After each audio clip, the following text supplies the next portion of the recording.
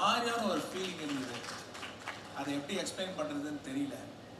ஏன்னா இதே ஃபீலிங் தான் வந்து ஃபர்ஸ்ட் பார்ட் எடுக்கும்போதும் ஃபஸ்ட் டே வந்தப்போ அதே ஃபீலிங் கூஸ் பம்ப்ஸ் கண்டிப்பாக நீங்களும் தேட்டரில் வந்து சேனாபதியை இருபத்தெட்டு வருஷம் கழிச்சு பார்க்கும்போது அந்த கூஸ் பம்ப்ஸ் வரும் நான் நம்புகிறேன் இன்னொருத்தரை நீங்கள் இருபத்தெட்டு வருஷம் கழிச்சு பார்க்க போகிறீங்க அந்த படத்தில் அவர் நம்ம நெடுமுடி வேணும் சார் போது அந்த கிருஷ்ணசாமி கேரக்டர் வந்து இருபத்தெட்டு வருஷம் கழிச்சு அங்கே முன்னாடி உட்காந்துருக்காரு போது அந்த ஃபீலிங் ரொம்ப டிஃப்ரெண்ட்டாக இருந்தது வந்து is such a wonderful actor இன்னைக்கு நம்மளோட இல்லைனாலும் அந்த படத்தில் இருக்காரு அந்த படத்தினால அவர் எப்பவுமே இருப்பார் அவர் I miss Nadumudi Venu.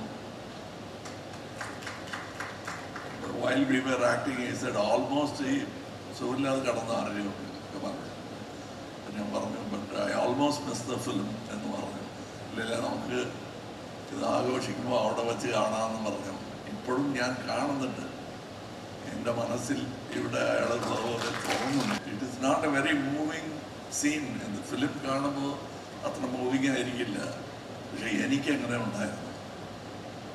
Whenever I see I dub the film I know that is there and is not a- a same emotion നിങ്ങൾക്കും ഉണ്ടാവും. ബിക്കോസ് ഐ ഓൾവേസ് സെഡ് ഇപ്പോൾ ഈ രംഗത്തെ വെച്ച് പറയുന്നില്ല one of my favourite Malayalam actors Nedumudi വേണുമാണ്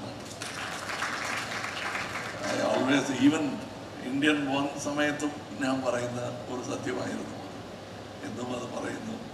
And I have many friends in Kerala and many critics and many people who sculpted me to what I am today I am ഒരു ചെറിയ where all this product is made എന്ന് പറയുമ്പോൾ എന്റെ പേരിന്റെ made in Kerala എന്ന് പറഞ്ഞാൽ not only Tamil Nadu partly part പാർട്ടായിട്ട് വേറെ വേറെ പാർട്ട് വേറെ വേറെ എക്സ്പേർട്സിന്റെ കയ്യിൽ കൊടുത്ത് ചെയ്ത ഒരു പ്രോഡക്റ്റാണ് ഞാൻ. ഈ പ്രതീക്ഷ ഉണ്ടാവും എന്നുള്ള പേടി ഞങ്ങൾക്കും ഉണ്ട്. അത് കഥ എഴുതാൻ തുടങ്ങുമ്പോഴേ അത് സാർ പറഞ്ഞാണ്. നല്ല വലിയ രംഗത്തൊക്കെ അത് പറയ പറയുന്നുണ്ട് സാർ. ഇത് എന്ത് ചെയ്യാൻ പാടില്ല എന്നുള്ളത് ആദ്യം ലിസ്റ്റ് എടുത്തു. പിന്നെ എന്തൊക്കെ ചെയ്യാം എന്നുള്ള ആഗ്രഹങ്ങൾ അതിന്റെ ലിസ്റ്റ് എടുത്തു.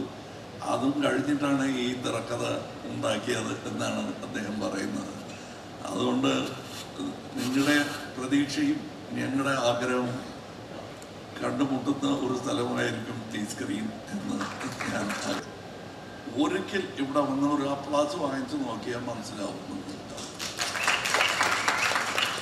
ഈ ഈ ശബ്ദം കേട്ട് കഴിഞ്ഞാൽ എനർജി എവിടെ നിന്ന് വരുന്നു എന്നുള്ള എന്നുള്ള കാര്യം മനസ്സിലാവും ഇതാണ് എന്റെ എനർജി.